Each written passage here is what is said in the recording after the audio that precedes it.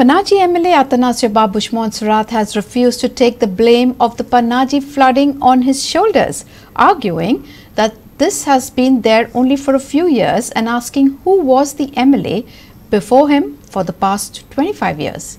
Here's more. Panjim city was badly hit this time. Not only were the roads affected, but water was everywhere.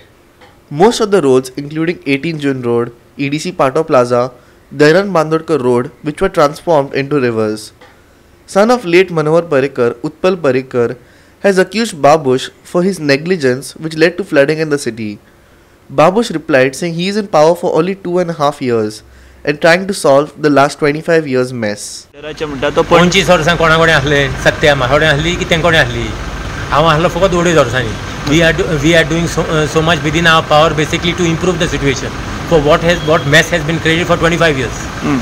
So just go back in the history and see who was there for 25 years, and that's the time tell this donkeys to talk. Tell this donkeys to talk. Sham Chari for Goa 365 from Porvorim.